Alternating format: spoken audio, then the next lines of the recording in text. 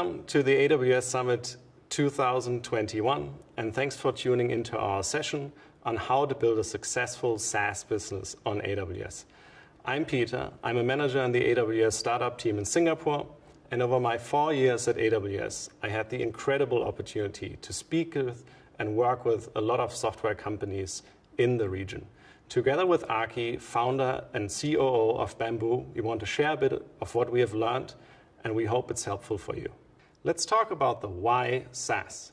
I think SaaS has such a big impact on how enterprises are consuming software and has created a few of the most exciting unicorns around the world, and I'm sure you followed a couple of the IPOs. Um, but why is that? First, enterprise software has not innovated as much as their consumer counterparts. Similar to how consumers got frustrated with their shopping experience, their taxi rides, their access to services, enterprises are tired of signing multi-year, multi-million dollar contracts for software that does subsequently not live up to the expectations. And on top of that, doesn't solve their business problem. Instead, they want free trials. They want to test drive, and they don't want to wait one year for the delivery. Second, payments. Instead of upfront payments, SaaS is often tied to outcome and success, which is obviously the preferred way of payment for customers. They want to start small and pay as they go. For startups, on the other hand, SaaS is promising high margins and a predictable revenue stream. David Skok said at the Web Summit, one car sold in 2020 means no car sold in 2021, at least usually. In 2000, in SaaS, uh, $1 million of revenue in 2020 means $1.5 million of revenue in 2021. This is what is attracting VCs. Entry barriers are significantly lower for software startups than for asset-heavy companies. All you need is an idea, manpower, and a lot, a lot of stamina. And last, innovation. The speed in which SaaS can roll out features is much faster than for traditional software, simply because the logistics are so much simpler. But also things like big data and AI/ML they have become much more accessible to SaaS companies because of the centralized deployments and also because of cloud providers like AWS. In ASEAN, in the SaaS space, most startups are still at an early stage, seed or series A. We are seeing a lot of fintechs, B2B e-commerce solutions, marketing technology, analytics, and AI. And because of recent history, logistics and health tech are seeing a big uptick. I like to distinguish between three types of deployments that these SaaS companies choose on AWS. First, self-service multi-tenant SaaS. Customers are sharing infrastructure and the database. The onboarding process is fully automated and companies can adopt the software without support of sales or service functions. Second, a single tenant SaaS uh, which we are seeing a lot with SaaS startups that are in regulated industries where customers are concerned about data breaches or tenant isolation that choose to put each customer into their own virtual private cloud with their own database. And last, lift and shift migrations. These startups have only just gotten started with cloud and are taking a legacy architecture that cannot really auto-scale and doesn't have automation in it to AWS. Now, all of these companies would be saying they're doing SaaS, but there is obviously an inherent benefit the more you are going to the left in terms of margins, ease of management, management and speed of growth. AWS is a big advocate of multi-tenant SaaS, and we are actively supporting startups on their journey. But before we go there, I want to share some of our observations working with many SaaS companies over the years. First is business. The vast majority of SaaS companies, as I mentioned, are at an early stage. Um, there are series, series B companies in Indonesia or Singapore or Thailand are actually rare. With that, product market fit is the single most important thing for founders. Think about your buyer, understand him or her very well. I talk with a lot of software companies that struggle to clearly articulate their value proposition to a buyer. This leads to bad conversion rates, often bad understanding of what the price of the product should be.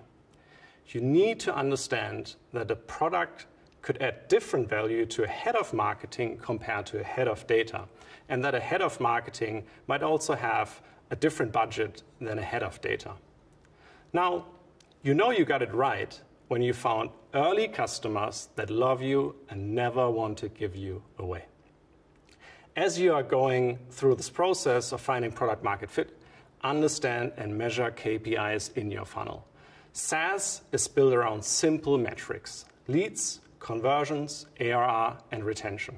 In the beginning, startups are typically going after every customer that returns their phone call. But then, the more you grow up, the more you want to be in markets where your CAC, cost of acquisition, is low and retention is high. Figure out how your conversion is different in different industries with different personas, and if you are targeting different ASEAN markets, how do these numbers look like in each market? If you can't measure it, you can't improve it. In AWS, we like to say, let numbers guide your decision. And only scale your sales team if you found a repeatable sales process. This means lead sources, this means value proposition. Otherwise, you're going through and burn through your money very fast. Next, don't make yourself look like a local company if you are self service. There are a lot of exciting SaaS businesses and self service SaaS models in ASEAN. A lot of these startups, however, naturally limit themselves to their country. On the website, it would say something like location, Singapore, and Malaysia. I often mention to these companies if you have a digital service, a digital support team, to a large extent, a digital sales team, go global or at least regional. Maybe you're going to get surprised by traction that you see in markets you have completely overlooked, and in fact, I've seen that in the past. Lastly, in 2020, we have faced a very difficult year, and I've seen some startups adopting to these changes faster than others. For example, do you need salespeople that travel across countries? Do you need to hire in individual countries? What is the innovation and the market opportunity for you as a startup? Or do you maybe need to pivot and do something else? And what services can you offer that help your customers with their business? I have seen companies that were able to shift fast. I've seen companies that were not able to adjust quickly. My advice is figure out what is your new norm and make bold decisions. Now, on the tech side, a big part of the presentation, and I spend a lot of my time telling startups to keep their eyes on multi tenant SaaS, even if your customers are not open to it yet. If you are targeting to have more than 20 customers, deployments and maintenance of SaaS applications in customers' on prem environments are not sustainable updating your software, new releases, troubleshooting, without access, you've probably been there. I believe that multi tenant SaaS is going to be the norm in the future. And this is where you can achieve the SaaS promise of high margins and fast growth. I'll leave it with that, and I'll let Aki talk about it more during his slides. Second, lean into your cloud provider. Leave the undifferentiated heavy lifting to AWS use our managed services and ask us about security, scalability, best practices, and the core components of SaaS. A lot of our solution architects are former CTOs. They have been there, done that, and they're happy to support you. Third, if you are early stage, focus on value for your customers. I've seen a lot of startups that fall in love with specific technologies, spend a lot of their time adopting these technologies without understanding the implications for their business or their customer. Technology follows business priorities, not the other way around. And last, those that are building multi tenant SaaS, get yourself a good database guy, especially if you're using relational databases. We have seen a lot of Series A companies on oversized databases because queries were not optimized. The developer that built the original schema has left, and nobody's really a database expert because they're very tough to get. Especially if you're write heavy, consider non relational databases or other purpose built databases. Understand your read and write patterns and have a conversation with our database specialist. They can give you advice. But now, let's talk a little bit more about how AWS can help you and how you should be working with us. Over the years, we have seen a rising demand of software companies that want to transition to multi-tenant SaaS. A lot of them are on-prem legacy companies, but more and more we are realizing that also startups are transitioning to multi-tenant SaaS solutions and are looking for technical guidance and support, but also on business topics, they're looking for our help. So we have developed a program called SaaS Factory which gives you direct access to technical and business content, best practices, and architectures that can guide you and your team. This program is free to participating companies, and you can join at all stages. Join our APN program. We are happy to sign you up if you are willing to build a SaaS business on AWS, even if you're already doing multi-tenant SaaS. So what is covered? In our SaaS factory, we will cover things like product strategy, go-to-market, packaging, and pricing. We have specific well-architected reviews for SaaS, and we build a framework to get you onto the path. Moving to SaaS is a transformation. So this framework helps startups to extend their vision beyond pure technology, putting a greater emphasis on business models that create excellent customer experiences. Companies like Freshworks, F5, Dynatrace all have joined this program. Now, I would like to hand over to Aki, who is going to tell you his story of Bambu and why and how they adopted multi-tenant SaaS on AWS. Hi guys, my name is Aki Ranin. I'm the co-founder and CEO at Bambu, which is a B2B fintech company. Over the next few slides, I'll describe our SaaS transformation journey that we've been doing as part of the AWS SaaS Factory program. Uh, first, a few words about Bambu before SaaS. So, Bambu just turned five years a few weeks ago, in fact. Uh, so far, our main business has been building robo advisor solutions for mainly large financial institutions around the world. Uh, the way that we've been doing that is building front ends and integrations around a shared set of APIs. This model has worked pretty well for us, but it does have its limits in terms of scalability. So why did we need SaaS? Um, if we're honest, there's hardly any non-SaaS companies around anymore if you go by the marketing websites. Uh, I mean, anybody can charge a subscription fee, but self-service multi-tenant is another ballgame altogether. Um, so if we look at the hype cycle, which is kind of a common framework, um, I think there's a right time for SaaS, and it's usually not early on. Um, and the reason for that, I'll, I'll, sort of explain through our own use case. We started Robo Advisory pretty early on in 2015 and 16, and no one really, including us, knew what to do. Over the next few years, the requirements have sort of converged into something we can actually package as a product. Um, now we feel is the right time to do SaaS in our particular market and some days API calls, I think, will be our main revenue source, but we're not there yet. Okay, so how did we do that? Um, these are some of the metaphors that we've used for our product evolution internally, uh, just to sort of pave our way from custom builds to SaaS.